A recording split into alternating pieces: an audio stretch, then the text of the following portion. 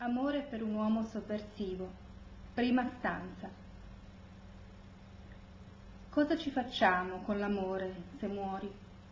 Lo mettiamo nella bara assieme alla camicia a scacchi verde, rossa e grigia che ti piace tanto? Con i pantaloni cachi e le scarpe marrone chiaro, quelle che usi nella vita normale? O la avvolgiamo attorno alla bandiera del fronte patriottico che la milizia porterà per coprirti? Passo notti insonni pensando a cosa farci con l'amore se muori. Forse potremmo metterlo in una corona di fiori, come quelle che la gente tesse per gli uomini scandinavi quando vanno sposi. Tua madre direbbe no, gli uomini cileni non portano fiori sulla testa. Sarebbe imbarazzante, la capisco. Cercherei di metterlo in una lettera che tu potresti leggere da solo a solo. Ad essere onesta, non saprei cosa farci con l'amore se muori. Amore per un uomo sovversivo, terza stanza.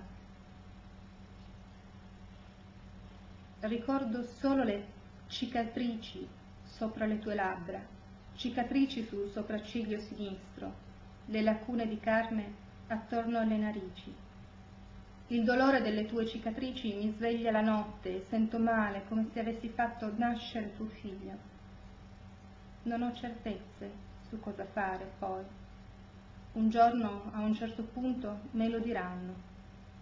Aspetterò finché la risposta verrà con chiarezza da dietro il fumo della mina o della bomba a mano che ti ha portato via dalla mia mano. Terrò segreti tutti i nomi, i posti dove erigeremo barricate, sferreremo attacchi alle stazioni di polizia finché ci uccideranno o si arrenderanno. La pioggia. Il rumore della pioggia nel Michigan mi ricorda gli inverni aspri nel mio vecchio paese, i piedi freddi in scarpe vecchie, il suono veloce dell'acqua che colpisce la terra, l'odore di eucalipto nell'aria. Chiudo gli occhi ed esprimo un desiderio. Desidero di poter vedere, solo per un momento, i tuoi capelli che ti danzano sul volto cercando di sfuggire al temporale. Desidero di poter vedere ancora le tue mani in cerca di un posto caldo, morbido come un rifugio nel mio corpo. Desidero che la pioggia non smetta mai. Apro gli occhi e so che sono qui ad ascoltare senza te. L'orologio mi dice dalla sala da pranzo che è passata mezzanotte. La pioggia suona ancora nel giardino e sulle strade di Detroit, lavando via disillusioni, cattivi pensieri, pulendo le sirene delle macchine della polizia, lavando a poco a poco la paura di nuovi incontri e nuove verità violente. Occhi di bambino. La gente dice che i bambini vedono e sentono cose che non si possono vedere o sentire. E questo bambino che rompe nella stanza ad abbracciare e baciare sua nonna, Vilma, non mi ha ancora vista. Ho paura dei suoi occhi, che toccano come un colibrì la cornea dei miei occhi. Non voglio che veda la pozzanghera di vecchio dolore e amore scolorito che mi cresce dentro, la tela di ragno del mio disappunto, un cuore battuto che non ha mai superato la sua perdita. Ho paura di questo bambino che corre in giro con i suoi due anni franchi, paura di me che sgretolo sono certa che urlerebbe se lasciassi che le mie pupille toccassero le sue e la stanza mi guarderebbe sapendo la verità di quello che lui vede. Sono spaventata e vecchia, frantumo giorno dopo giorno una memoria di innocenza. Io so troppo. Parata città senza montagne, vite senza coscienza, corpi senza desiderio mi circondano. L'odore della primavera è arrivato, ricordi di un'infanzia, di viole multicolori e giacinti. Sono felice per un secondo. Così cammino lungo il corridoio fino a toccare completamente la visione del prato verde a cianco. Qua la vedo, il suo volto a duello col sole. Sento la musica di una parata estiva. Vedo nelle sue mani il mio vestito rosa della comunione. Non conosco l'odore di lei. La vita è cambiata. Città senza montagne, vite senza coscienze, corpi senza desiderio. Non feriscono tanto come il cuore freddo di mia madre. Macchie solari.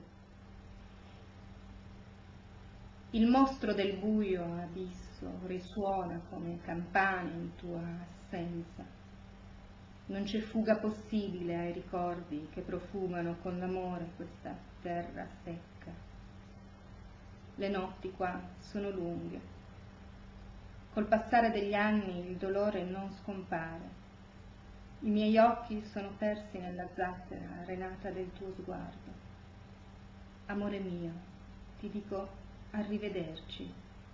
Ti giro lentamente la testa altrove. Riposa in pace. Io vivo adesso nella nebbia di luci accecanti. Come resolana ti porto sulla pelle. Fremiti. Entro nella luce del giorno come un vampiro, pronta a succhiare l'ultima goccia di rugiada distesa sull'erba verde di agosto. Entro spaventata dai nuovi suoni del mattino che graffiano il silenzio di questa stanza. In un angolo vedo mio nonno, nel vecchio paese, che beve tè a colazione, in cucina. Cammina, deciso, robusto, senza paure, avanti e indietro, muovendo le mani su una pagnotta soffice. Dalla finestra il sole emerge insolente tra le montagne piene di segreti e pettegolezzi di città. Si muove verso la luce, arriva alla porta, lasciando la chiave ad un mandala. È un ticchettio agitato nelle orecchie, il cuore di una ragazzina in attesa del suo ritorno. Uno loro. Loro hanno rotto le dita di quelli che non volevano sparare alla gente.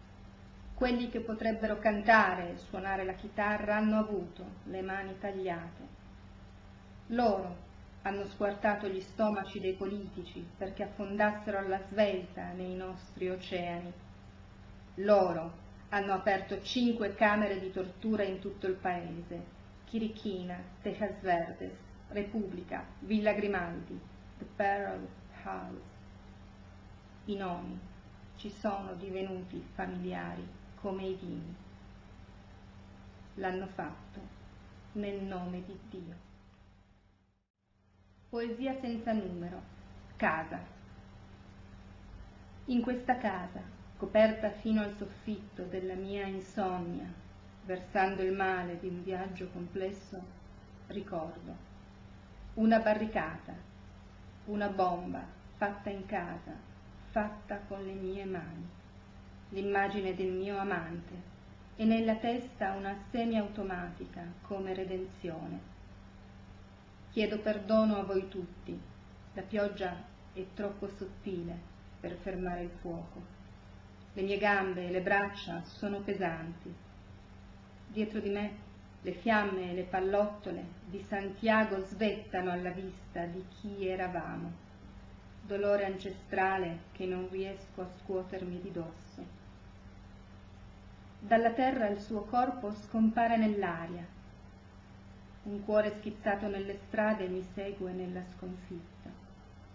Penso a te, alla mia casa in fiamme, il pensiero di mio padre caduto in ginocchio a pregare per un miracolo mentre la pioggia scompare di fronte a me.